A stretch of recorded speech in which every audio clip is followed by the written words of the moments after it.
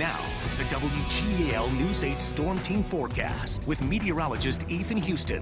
Much of the Susquehanna Valley saw clear skies today. We're going to keep that trend overnight tonight. That's going to allow the temperatures to really drop down to near freezing. There could be some patchy frost. Some spots may even make it down into the 20s overnight. But then the clouds will start to return tomorrow. Monday is going to be a transitional day. Lots of sunshine in the morning, but by the evening rush hour, clouds will be fairly thick. That's going to lead to some rain late Monday night and showers likely on Tuesday. It does look like it's going to be a, a good soaking rain with that storm system coming up from the south. Live look right now over the city of York. Temperatures dropping quick, now down to near 40 degrees. One of the cooler spots across the area. Winds are light and calm and dew points are low.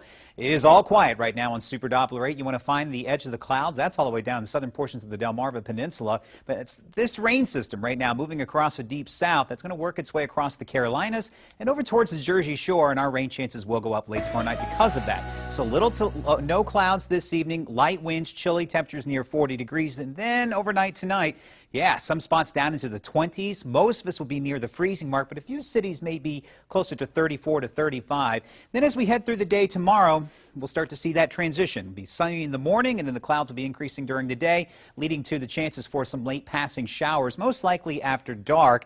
And then the rain chances will stay up as we head into Tuesday. Highest rain chances will be midday on Tuesday, and then as the storm starts to pull or starts to pull offshore, rain chances will drop, and I think we'll have a fairly dry Veterans Day ahead. So if you have any outdoor plans for Veterans Day, you can keep them.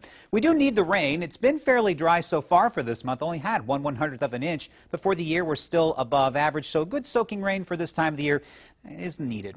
Our high today was 56. The low this morning was 42. No, again, no rainfall out reported at Harrisburg International Airport. Here were the highs today. Only in the 50s. Our highs yesterday were just after midnight. At Harrisburg, it was 69 degrees. Gettysburg, yesterday's high just right after midnight was 70, now down to 54. So right where we should be for this time of the year. We'll be close to that as we head into tomorrow as well. Here are the current temperatures right now. It is 45 in Harrisburg, 46 to this hour in Carlisle, and currently 51 in Chambersburg. Winds are light and calm. That's thanks to the core of that ri the ridge of high pressure is nearly overhead. That's going to work its way up toward New England as we head through the overnight hours. This is our next rainmaker. It's going to work away, uh, work on the backside of the ridge of that high and start to lift from the south to the north.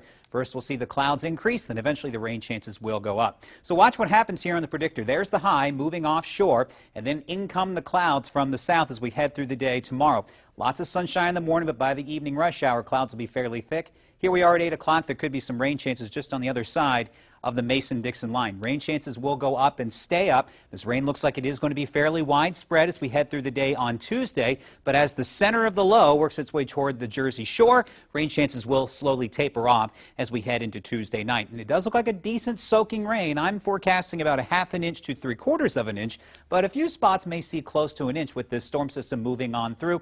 Not looking for any thunderstorms, just a nice, decent soaking rain. Fairly gloomy weather is expected on into Tuesday. But our weather will improve just in time for Veterans Day. Temperatures will warm back up into the 60s. That is still above seasonal averages. Could see another round of some rain as the storm system moves on through ahead of a cold front on Thursday. Temperatures dropping back down to at or possibly even below seasonal averages for next weekend. Wow.